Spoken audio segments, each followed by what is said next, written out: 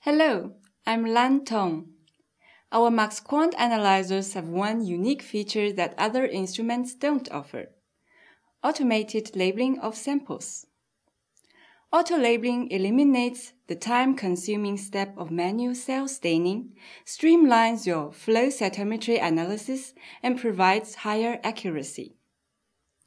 Using automated technology, the MACSQuant analyzers enable staining of samples with up to four reagents, such as antibodies, antibody cocktails, and dyes like propidium iodide.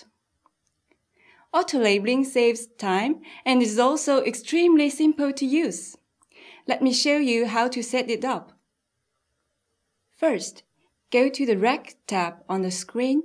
From drop-down menu, choose your preferred type of chill rack. Next, go to the Auto Label tab and click on Add to open the Reagent Manager. For each reagent, select the position, category, and reagent.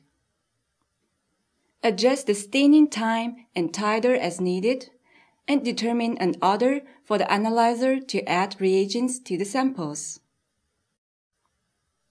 Next, click the relevant checkboxes for the reagents that will be added to each position on the chill rack. Finally, click the Start button to begin auto-labeling. The pipetting robotics will now start the staining process and automatically label your samples. It's that easy. The MACSQuant Analyzer simplifies your workflow and gives you complete peace of mind. To learn more about Miltenyi Biotec's flow cytometry solutions, log on to macsquant.com.